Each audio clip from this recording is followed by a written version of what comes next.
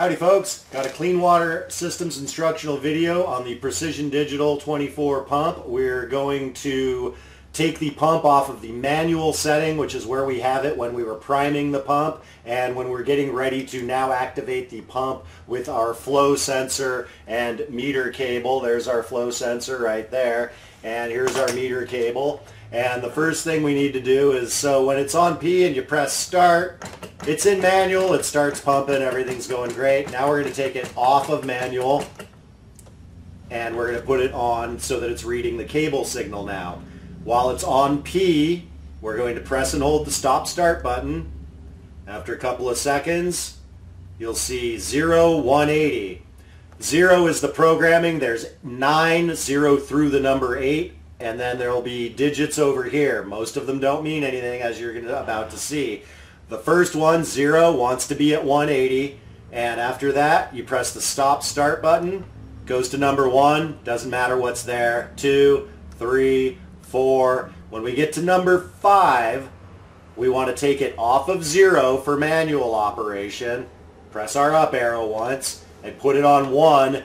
And now every time a gallon of water comes through, it's going to wait for the signal to tell it to pulse and how many times it's going to pulse.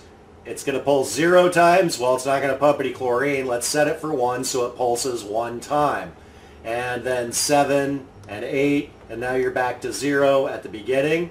If you just walk away from the pump, it'll reset to P after a moment. And also to not wait for that, you press and hold the start-stop button.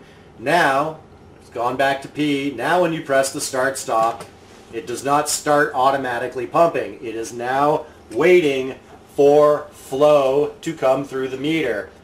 It's important when you install the meter that the meter is not at an angle, that it's not upside down, that it's not at an angle this way. It wants to be flat in space with the meter facing straight up. As water passes through the meter, it will stroke once. You go get a little faster water. Goes once. Goes again. So every time a gallon of water is registered on the meter, it's sending the signal and it's pulsing one time. Thank you very much.